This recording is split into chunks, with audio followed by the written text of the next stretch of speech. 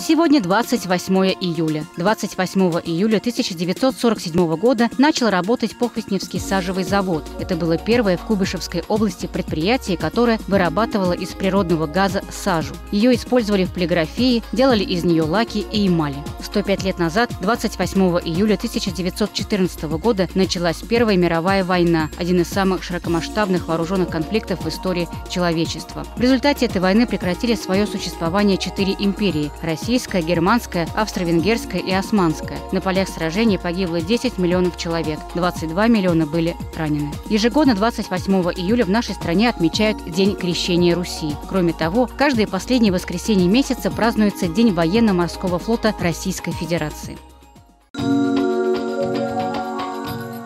28 июля в разные годы были рождены советский актер, кинорежиссер, сценарист Владимир Басов, советская киноактриса Инна Макарова, российская актриса театра и кино, телеведущая Юлия Меньшова и другие известные люди. В народном календаре сегодня день Кирика и Улиты. В ту пору часто шел сильный дождь, и в поле делать было просто нечего. Кирики всегда макродырики, говорили крестьяне. Впрочем, день все равно старались проводить с пользой, приучали детей к домашнему труду, чтобы они становились опорой для своих матерей. Таким был в истории 20 28 день июля. Позитивного вам настроения и успехов во всех начинаниях.